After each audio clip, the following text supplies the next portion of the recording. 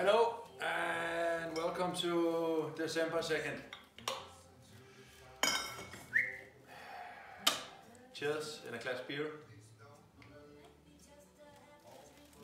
Ah, the way class began was actually um, in this area here where I live now.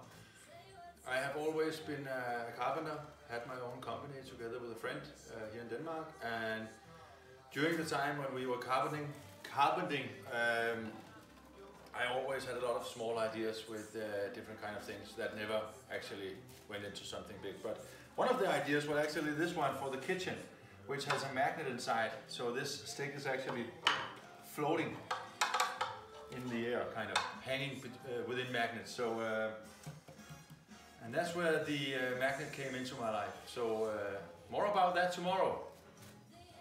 Stay tuned. Merry Christmas.